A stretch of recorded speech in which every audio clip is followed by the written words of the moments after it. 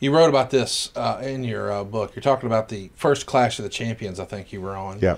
As much as uh, I wish it weren't true, my first stint in WCW, spanning late November '89 through mid June '90, will best be remembered for my February 10th match at Clash of the Champions.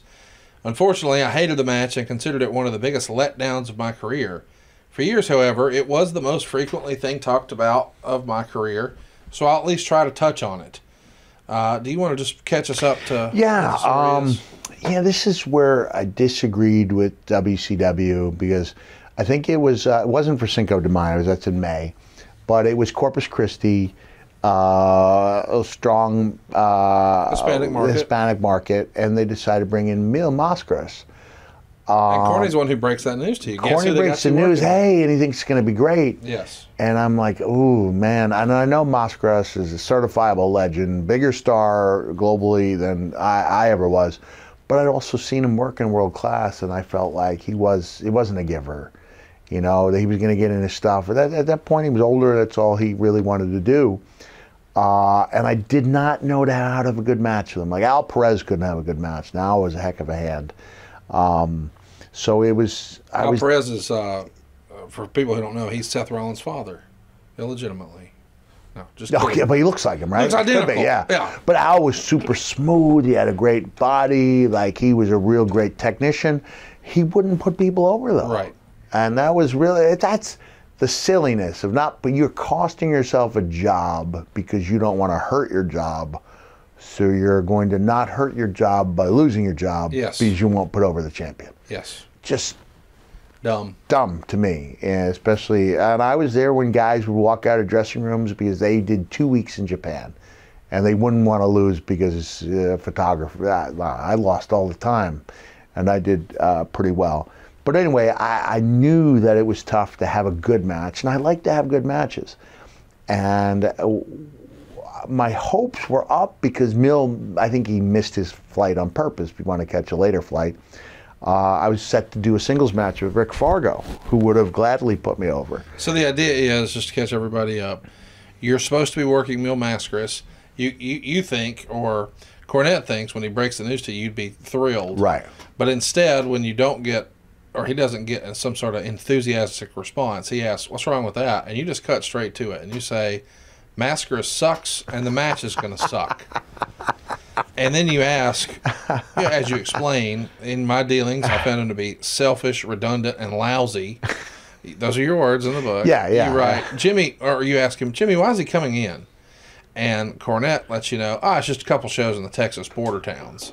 So it does feel like, as much as he's helped you out, he occasionally has given you some bad news, and this maybe He was all he he was sometimes given he was sometimes the bearer of bad news. Yes. So I liken you know bringing Mil uh, for uh, that's great to try to increase uh, the crowd a little bit, but in the end. You're taking a guy who you're trying to push, having lose to someone who's not going to be on again, somewhat akin to, to what I thought saw as a short sightedness of making the Omni in Atlanta the priority when Bill Watts came in to Yes. turn the Omni into the Madison Square Garden of the South. And so you'd have guys cutting promos about the Omni on live national television, which to me made it look like a regional promotion. Yeah. Uh, but that was the, the, on their list. The Omni was more important than those other aspects. And I guess in this case, building up that house in Corpus Christi was more important than the television product. Uh, so I, I, I realized that was quite a challenge. Forget all the company Okay. stuff. From your perspective, your career is going pretty well here.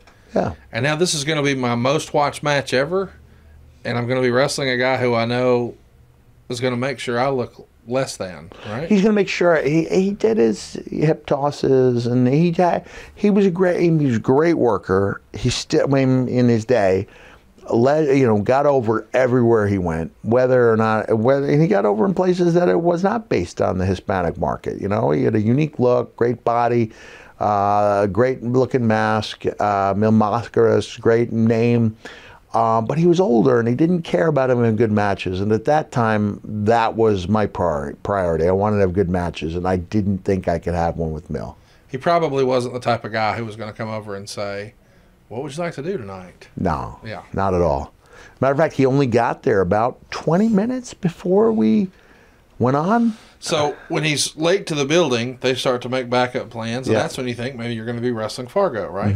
Which would mean you're getting a win on the Clash of the Champions. Right, right. Drop that big elbow. Rare win because I was just coming off, you know, about 10 weeks. Uh, there was that interruption. Well, I actually didn't miss any TV time when I got uh, a big car accident. Uh, about 100 stitcheroonies in, the, in the Foley body. Front teeth were knocked out, but did not miss any time. I'm proud of that. Didn't miss any matches. Uh, but a, a win on TV would have been big, especially on Clash of the Champions.